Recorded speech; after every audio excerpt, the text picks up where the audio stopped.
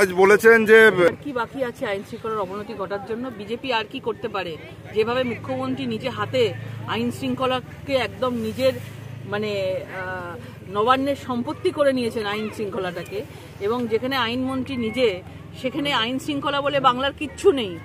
হিটলারের শাসন চলছে। এই আইন শৃঙ্খলার এই অবনতি হওয়ার জন্য ভারতীয় জনতা পার্টি সেখান থেকে মানুষকে মুক্তি দেওয়ার জন্য লড়াই করছে এবং অনবরত লড়াই করে যাবে। এদের নিজেরা নিজেদের প্রতি আস্থা রাখতে পারছে না। কোথায় সিবিআই, ইডি গিয়ে কার ঘরে ঢুকে সেই টাকার পাহাড় খোঁজ করবে এবং তারা আবার তারা জেলে যাবে, সেই জন্য উনি কোনো নেতামন্ত্রীর ওপর বিশ্বাস রাখতে পারছেন না বলে, উনি ভরসা করতে পারছেন না বলে উনি আজকে এই ধরনের কথা বলছেন। উনি নিজেই জানেন না, নিজেই বুঝতে পারছেন যে একের পর এক পুরো শিক্ষা মন্ত্রণালয়টা পুরো জেলের ভেতর ঢুকে গেছে।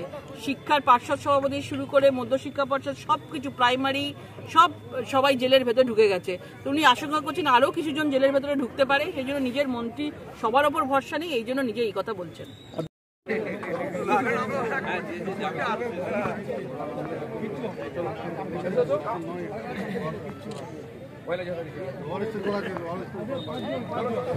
ভারত মাতা কি?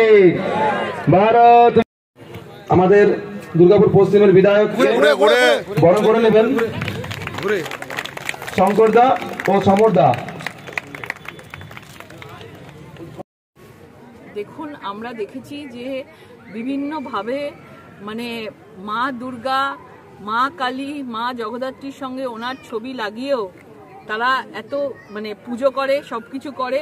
কিন্তু মমতা বন্দ্যোপাধ্যায় সবাই জানে যে এই মদন মিত্র একসময় তাদের মমতা বন্দ্যোপাধ্যায়কে নিয়ে, তাদের দলের ভাইপোকে নিয়ে একসময় কি কথা বলেছিল? সবাই এইসব বলে কাছে আসতে চাইছেন, এখন বাজার খুব খারাপ আছে, ওনার আশেপাশে সবাই নেই, সেই জন্য এইসব কথা বলে নাম্বার পেয়ে সামনের সারিতে আসছে